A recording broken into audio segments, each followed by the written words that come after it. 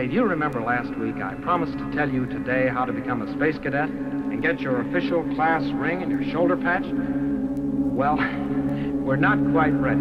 I thought we would be, but we're not. But the things we're getting together for you are really going to be something. So watch for it next week, okay? Okay.